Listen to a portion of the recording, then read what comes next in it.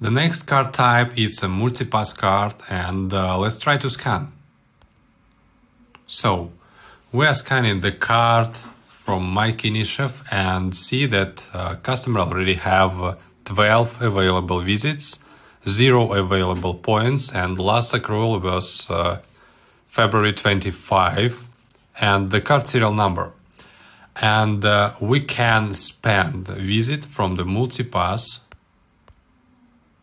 with the comment or not and success.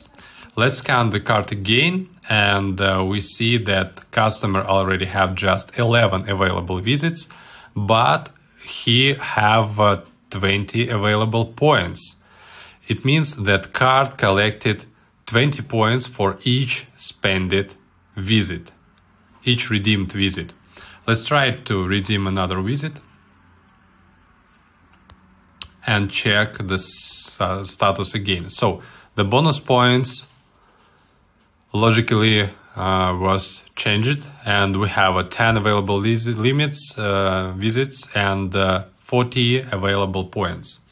And also we can redeem the points, for example, 20 from the card.